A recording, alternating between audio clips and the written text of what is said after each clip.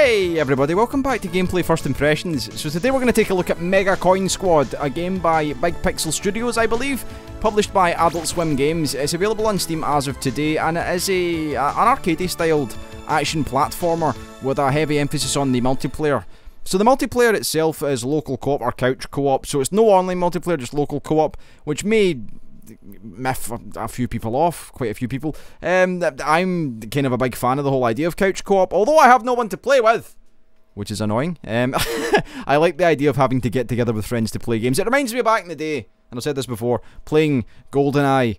Your friends bring their N64 pads round, you all sit and you play GoldenEye all day. It was good fun. That's why I, I like that kind of idea. So it's available on Steam today, and it's at a cost of £10.99 pence full price. It has a sale starting and it's going to be £8.79 pence for that sale time. I think it's a week or two that it's going to be on. I didn't check the actual length of the sale. So it's available on Steam as of today. What, what we'll do is we'll look at the options menu firstly, and then we'll look at the actual game itself.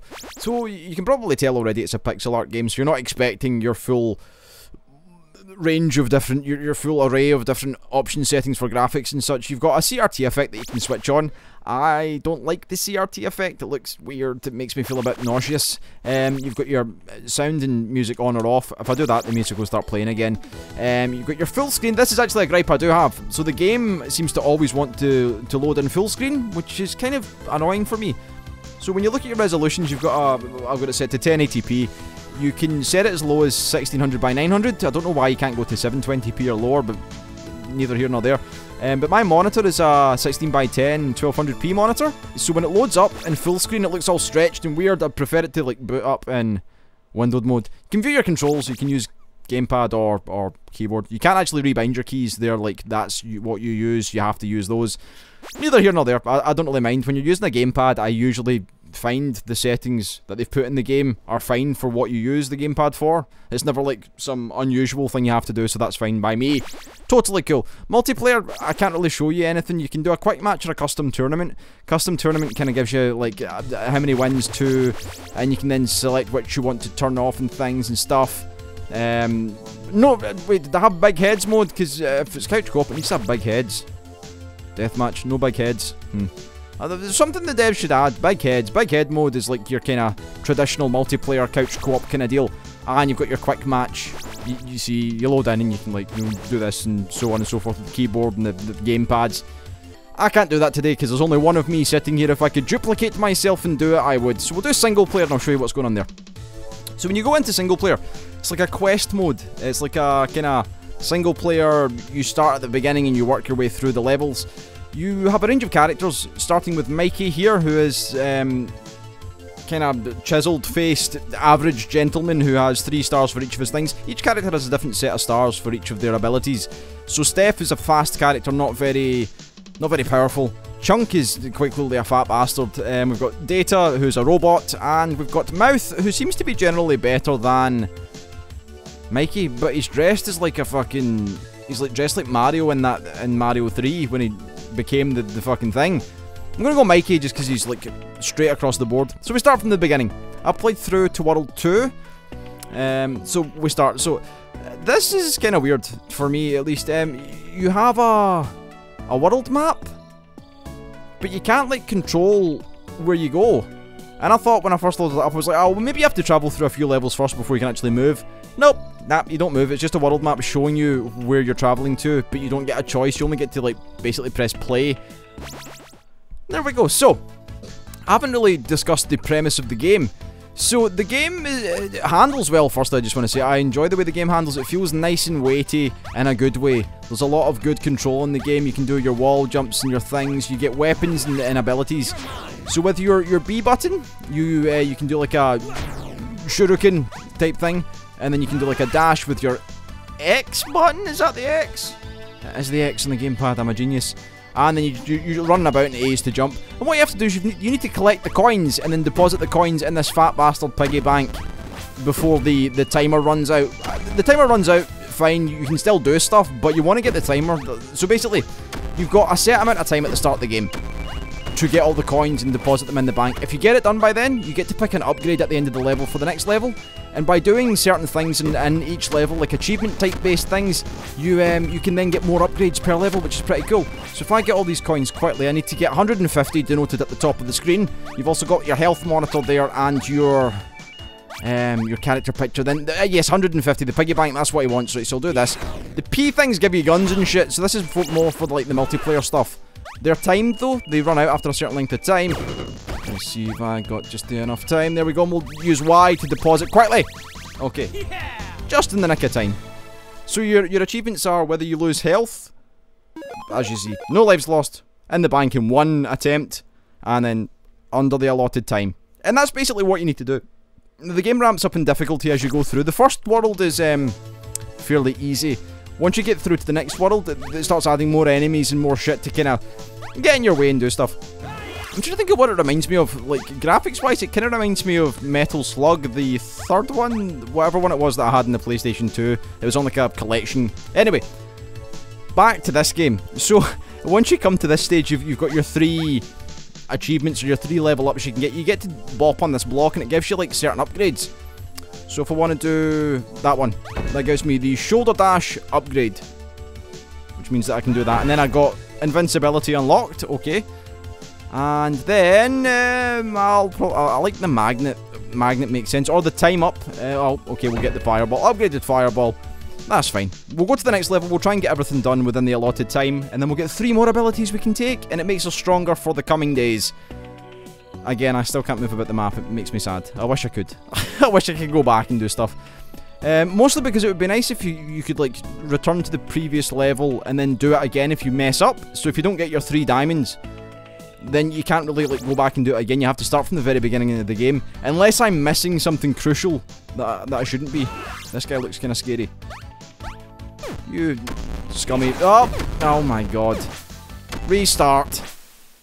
Restart 1-1. No, I don't want to restart 1-1. I'm on 1-2. Am I not? I'm on, I'm on 1-1. Still. Oh, fuck. God damn it. I, am now throwing intentionally just to show... That. or maybe I'm not. Maybe I'm just bad. Popping his head. There we go. So we've got to get 250 coins this time. And um, the game it does get harder. Right now, this isn't really difficult in the game. I'm just not playing properly. But once you play yourself, you, you, will understand if you if you get the game that is. You'll, you'll understand how difficult it becomes in the later stages of the game. I'm to just dash up here. That's, I thought I had 69 coins there. Have I ruined it? I have ruined it, damn. Let's um, bop down here. I not bop on you and break you? Yes, and then we'll do one more here. Give me a good gun. Grenade launcher, I'll take it. There we go, we'll blow some shit up. Give me those coins. Hooah! I shot a grenade out the sky with another grenade. This is this is this is the kind of stuff I enjoy. So your weapons that you pick up, they are only timed. You've only got them for a certain length of time. Uh -huh. Give me all the coins. Oh, give me one of those. Oh, yes. The drill cannon? Is that what that is? I thought it was a grenade launcher. Oh, really? I died. so basically, you, you don't want to die. Um, so I have to retry from 1-1? I see what you're saying, game. Okay. So I guess that I, I, guess then it must save per each world rather than it being from each level. So if you want to restart, you just restart from the first level again. Um, which kind of sucks if you mess up, like, say, the third level and you want to start again. Or you want to start from the third level again, I mean. But all in all, I, I enjoy the gameplay. I just think it would be more fun with people. O on its own, there's only so much that you can do in it before I'm like, uh, well, I've collected a, a million coins. Is there anything else I can do? I could imagine the, the kind of the the fun of playing with friends in this game will be excellent because when you hit someone or when you get hit by certain enemies later on, you lose all your coins. So it's like you you you have like a grace of early on, you don't lose your coins if you're hit. Later on, when you're hit, you lose every one of your coins. So say you're like say 10 seconds from being done with the level, and you're about to go to the thing and one of your pals jumps in with a machine gun and like boom you just got shot and then and then that's you done I know I should be careful with my language I don't want to speak about shooting things and stuff but but um yeah you can shoot someone and they'll lose all their coins and then that's you like or I assume that's what happens I'm really finished with this level already I assume that's what happens yeah. and then it just adds to the, the whole couch co-op I'm going to punch my friend in the face and it'll be all funsies if you're looking for a game to play solo, I don't know if I see £10 worth of game. But we'll take some upgrades and we'll continue on as we are. So we get one of those. Uh, the What does the rainbow coin do again? I'll take a... Oh, okay. Coin spawner unlocked. Okay, very good. And we'll take the time up as well. 10% bonus time. That, that'll help in the later stages of the game. So I believe your upgrades are persistent through the whole run that you have. And each level's fairly short. You're talking like a couple of minutes at most. So bank 250 coins. So we want to get... No, not being hit. We want to get... Yep. Oh, mm, balls. Hold on. There we go. That's what I wanted. That was the one there. Oh, fuck it. Fuck the coins. Up this way. Right, I want to get the bombs. I want to get you, and then bomb them. Uh-huh. And then we've got the drill cannon, so we can then use the drill cannon up here. Drill them. Drill them all. Yes, okay. That's a lot of coins I'm missing. Uh-huh. So I need to get like another 150 thereabouts. Hello, nurse. Oh, no! Okay, so I lost all my coins there. That sucks. So you can see the, the, the dangers of losing your coins. Oh, I've done it again. I've gone and done it again. Yesterday I was blasting through these levels. Yep. Oh, oh, you goddamn son of a of a bitch. Now maybe I'm not the best person to be looking at for for high level gameplay in this game. I swear I was all the way up here yesterday. Goddamn. Well, we start from the beginning. So the difficulty, maybe I missed something, maybe there's a patch that I missed where they made the game harder. Maybe I'm just bad today, who knows. Right, I want to, uh, maybe I'll just take my time. Take your time. Don't worry about the stuff. Grab the coins, there we go, we'll come down here, we'll grab all those, give me that, there we go. First level's not too hard, there's nothing to really, there's no enemies. It's when they start adding the enemies, that's when I have problems, it's when I, I start not performing. Have some fireball, there we go, one of those. I, I, I, enjoy the gameplay, I just, as I said, I would prefer if I had, like, other people to play with. I don't think it's much of a game that you would enjoy over long periods of time. You would probably enjoy it for one or two playthroughs, but it's not something I would continually go back to. Um, especially, I don't think there's any, like, random generation to the levels. I think the maps... I, I mean, obviously you get, like, the random, like, appearance of things in the level, but it doesn't feel different enough on each run to make it, like... If you understand what I'm trying to say, it's not like playing Spelunky every time where it does feel different, there's a different generation every time. You've got kind of the same idea going on, and maybe you'll get like different little bits like this kind of showing up, but all in all it feels like the same experience. Or at least for me it does. It doesn't feel varied enough. That's why you probably need other people to play, because they add that human element of just being assholes as humans are go. Have I got? I've got way more coins than I need, and I ran out of time. I was just too busy talking. Maybe that's what I'll do. Let's not rush. Let's just take our time. We'll get any upgrades we can. Two upgrades is fine. So we'll grab the magnet, which means that we'll drag coins towards us, and then we'll get the, the invincibility unlocked. Okay, very good. Solid play. Right, let's beat World 1 and we'll try and get to Sand World, where it's a lot more fucking dastardly. I mean, this shouldn't be hard. This is the second level in, like, the first world. This is, like, the tutorial central. What's that? And, oh, that, that seems like it would be good.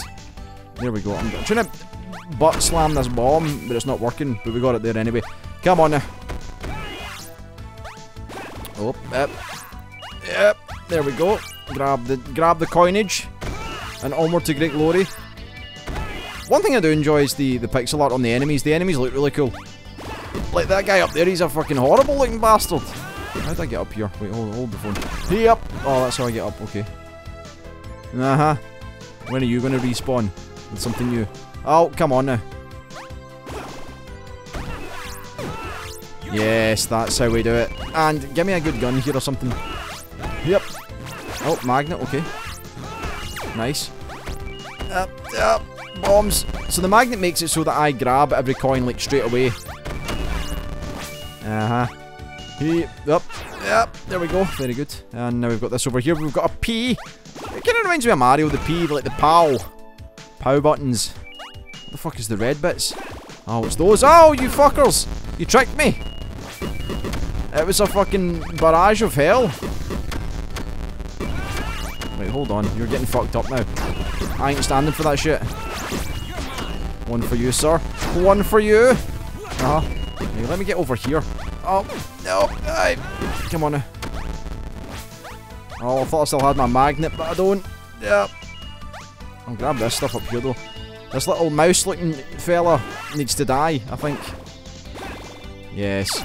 Okay. Now we're talking. I can do this. You can do this, Tom. It's not. It's not difficult. You've, you've been here before. Can I just slam my head against that and it breaks? I can! Why wasn't I doing that before? Why did no one tell me? That must be me nearly done here. Oh, I'm way over target.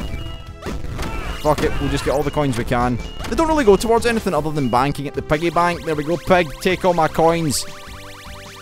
So we'll only get one upgrade this time because we have um, lost one life and of course not done it in the allotted time. But we've moved on to another level, which is good. So we get some guns. Getting my gun on. Um, I want that automatic rifle looking. The assault rifle, yes. I don't really know what the upgrades do to the weapons. I, I would imagine you get them for longer time and they probably do more damage. I think I got one more here. Green Valley, number three. So 300 coins this time. Why are you up in the sky? That's that's new. I don't I don't reckon. Aye, oh, you fucking dirty little fucker. You little Tweety Pie looking piece of shit. Not happy. Like, these coin spawners are good. They'll just continually spawn coins for us. And what, what, what are you doing up there, you bastard, you fat pig? You pink, curly-tailed motherfucker. I think when I get angry, I, I perform better in games. I'm not really sure if it can be confirmed yet, but I feel like whenever I'm like... I'm just going to be angry at the pig from now on, and then I'm still angry at the pig, and when I'm angry at the pig, I seem to do well, so let's just be angry at the pig. Give me all your coins. Yeah, yeah, damn pink bacon farming motherfucker. Why am I oh, so anti-pig today? I enjoy bacon. Don't get me wrong. Uh, oh, fucking you as well, you guy. You damn swine. Swine! Because he's a pig, get it?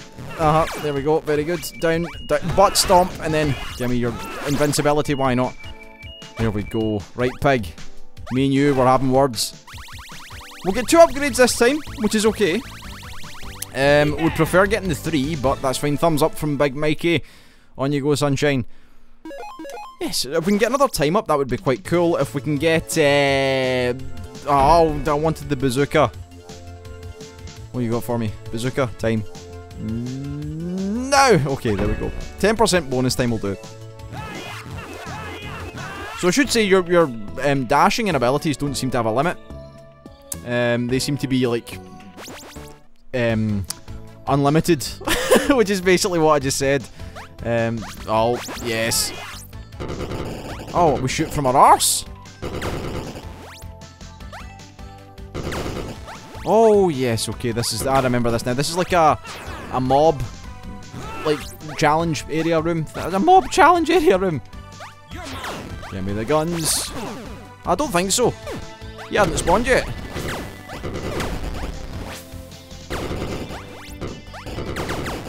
Easy. Oh, there's the pig. Pig, what you saying? Big old coin. I'm not giving you the coin. You fat bastard. Okay, maybe I am then. He gets the big old coin. I don't know what that... I forgot that that level existed, which is a good thing because it reminds me so you got the mega coin from Green Valley. Ah, right, okay, so that must be just like the last level then. Um, so we're on to the desert. We'll do a couple of the desert, then we'll, we'll wrap it up. I haven't been past the desert though, so I can't comment on the late game, but that's kind of what the whole gameplay first impressions thing is all about. Me looking at a game and then saying what I think of the beginning of the game, which is basically what first impressions videos are, to be honest. You can tell a lot about a game from playing, like, say, an hour or so of it. Now I remember why I hate this area. Fuck you, Thwomp man. Spiky Thwomp! I've never been more unhappy. It's like the Spelunky Thwomps when they get you. It's the saddest of days. Give me your coins. Right, pig. I, I need to start hating you again. The last time I hated the pig, things happened, things were going well, so we need to start hating the pig again. Damn that coin. Ah. You fucking... Oh, please. We'll get him then. We'll get him. Give me this stuff. Tweety pie, piss off. None of your nonsense. Interesting. That's way easier actually. I've just worked out in my... that if I press down while I've jumped, it will do a butt stomp instead of having to press the dash button, which is way more useful. Good job, developers. I enjoy that very much, actually. That makes a lot of sense. See, what I was doing before is I was trying to, like, get myself lined up. Then I was doing, like, a dash and pressing down. But really what you just need to do is press down. And that's all you need to do to do the butt stomp. That's, that's very useful. Let me in here. I should probably just do one of these to you. Fuck you. We're almost at the, right coinage level. There we go. Come on now. I'll fucking have one of those. Oh, I'll have two. Uh, oh, we've still got time. Come on, pig. Give me the good stuff.